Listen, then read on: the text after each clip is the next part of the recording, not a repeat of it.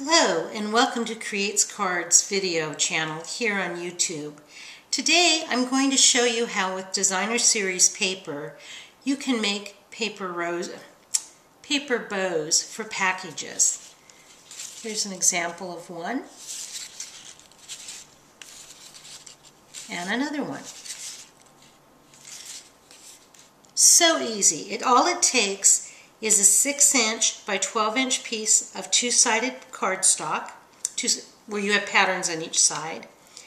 You're going to cut out four 1 inch by 6 inch strips and then another four 1 inch by 6 inch strips.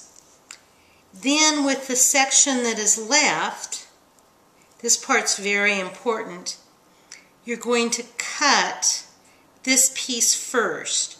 This is one inch by four. When you remove that, then it will give you four one inch by five inch pieces. Okay, let's get started. We're going to use snail, which is adhesive, and you're going to come down to the very end and just put a strip of adhesive across.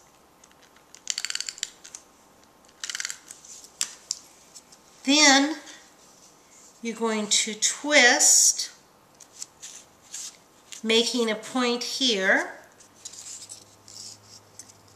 Let's see, maybe I'll put it there so you can see. And then press so that um, you get that together. We're going to do all four of those. So adhesive, Let me do it this way. Okay, I've got the inside piece facing towards me.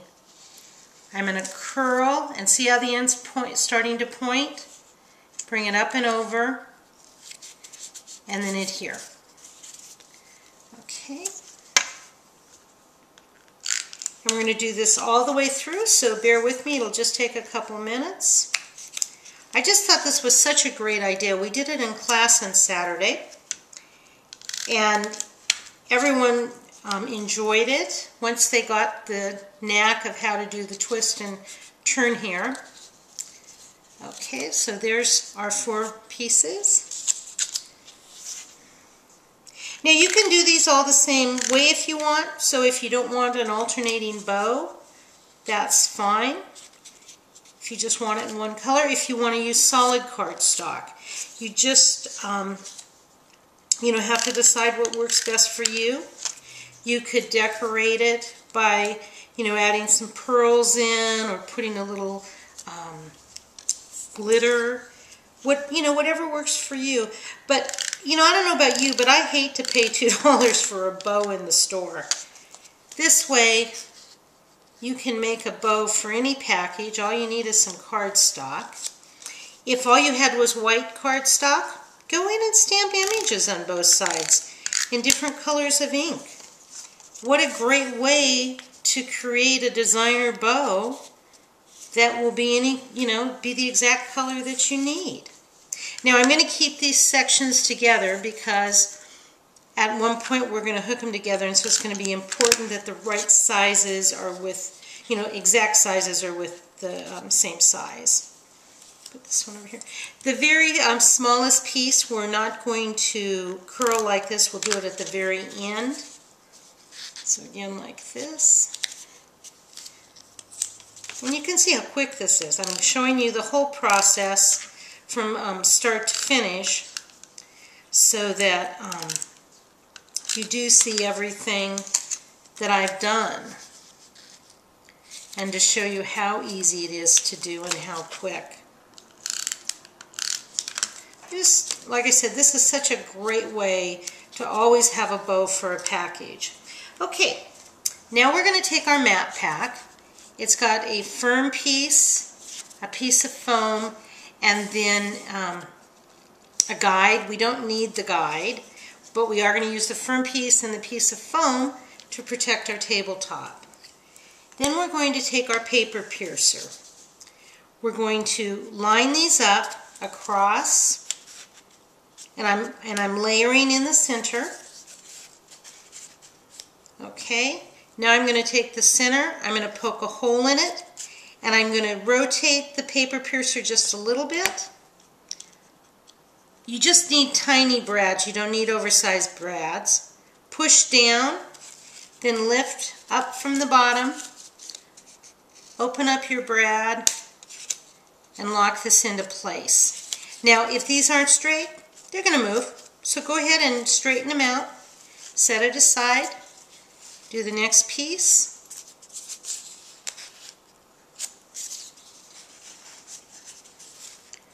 Okay, punch in the center, rotate around, come back. Oh, and I should mention that this idea for the bows did come from Split Coast Stampers. I'm not the originator of it.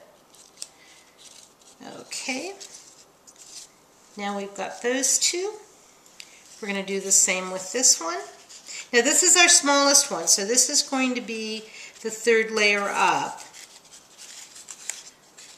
Okay. Again, we're overlapping them, so when I put the brad in, they're all going to hook together. Twist. Put the brad in.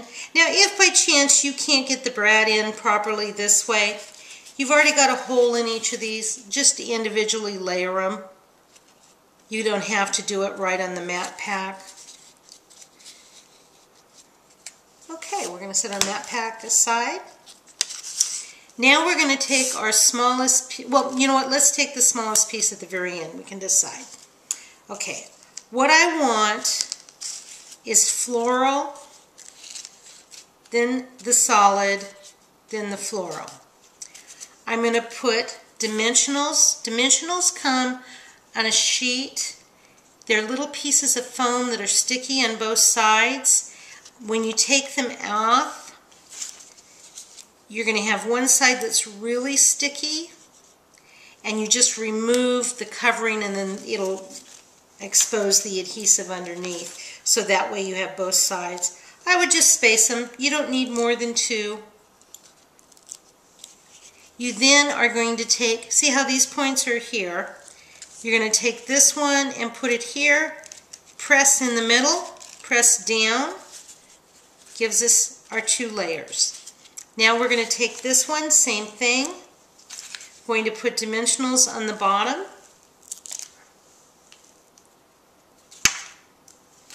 just need two, you don't need any more than that.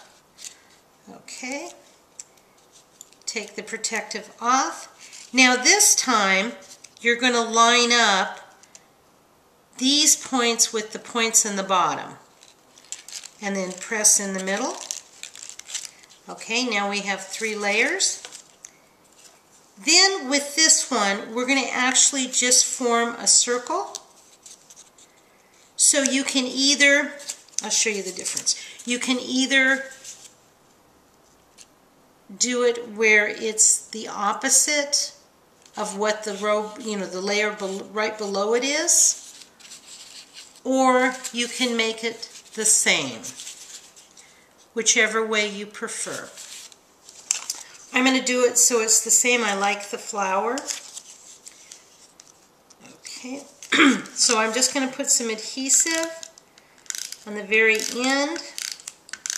You want to put a little extra on this part because this one you definitely um, it's going to be holding together on its own. Then put pressure across here. All right.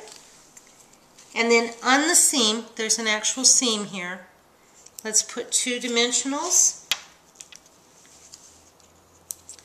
Again, remove the protective covering. Putting your finger in it, press down. And within just a few minutes, you've got a beautiful bow.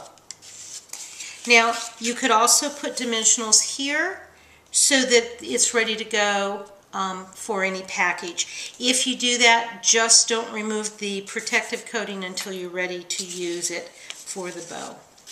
Hope you'll stop by my blog, http colon backslash backslash kreateskards.blogspot.com.